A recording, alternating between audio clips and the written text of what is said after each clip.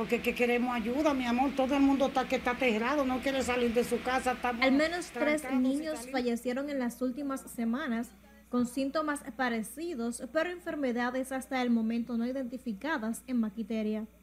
Mientras los padres afirman que sus vástagos tenían dengue, Salud Pública aclaró hoy que las muertes no fueron a causa de esta enfermedad. Hoy no me dijeron nada.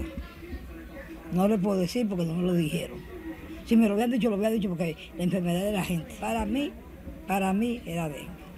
Porque ella me le dio una fiebre y así se murió una niña allí. Y de que hay una mala para allá. Otra. Ya van tres. Moradores de un callejón ubicado en el referido sector denunciaron el mal funcionamiento del sistema cloacal y la falta de acción de las autoridades ante esta situación que les mantiene con temores de contagiarse de enfermedades. Bueno, el problema que nosotros tenemos aquí es el problema de Coacal, que está allá antes, como usted podrá ver, que cada vez que aquí no me cae una, jarinita, que usted ve que está seco, y ya mire cómo está eso ahí chumbado de agua.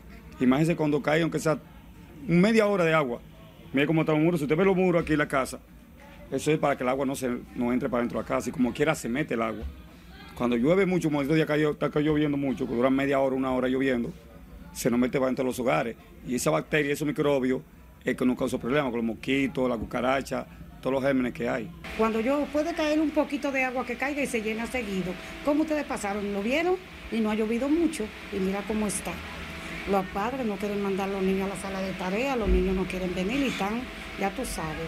Eso ha sido tres casos que no sé. Sobre esta situación, el Ministerio de Salud Pública informó que el agua cloacal presente en un desagüe no es reservorio natural para la Aedes aegypti, el mosquito transmisor del dengue. Sin embargo, dijo que se identificó la necesidad de que la alcaldía y la Corporación de Acueducto y Alcantarillado de Santo Domingo atiendan la situación de higiene en la zona.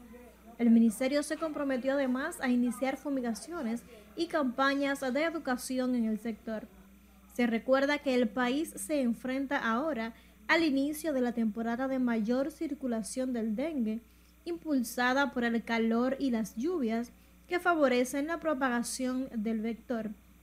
Águeda Solano, RNN.